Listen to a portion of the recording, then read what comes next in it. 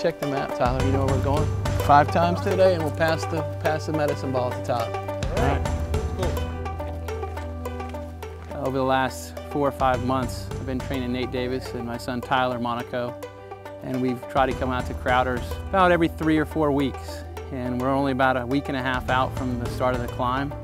We're getting the last big push in here and doing the stairs, uh, so it's a pretty good pre-training run. Uh, also to really test our gear one last time before we head to Africa. So stretch that out, it's tight, okay? The purpose of going to Africa is to support Trek for TEF. It's to raise awareness and, and charitable support for the Elisha Foundation, which supports uh, families around the world by giving them the educational tools and support to make sure that children with special needs are not placed in homes that have the support from their families and the communities so that they can live a normal life. All right, Nate, take your time.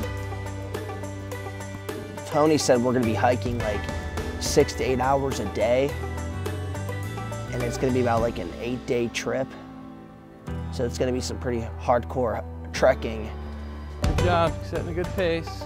The goal that we have um, you know, ultimately we'd all like to make the top of Kilimanjaro, but I think what we're going to find along the way, and what I know have, having worked with Eli and the Elisha Foundation previously, is that it's the things that you learn during the journey along the way okay.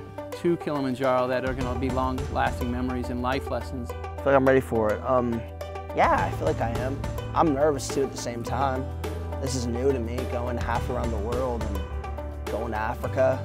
We're trying to provide uh, Nate an opportunity to do some things on his own, be away from his parents, and I think along the way uh, he'll gain confidence, he'll gain some independence. I think this is going to just uh, uh, show him and then show everyone around him that you know you can do what you set your mind to.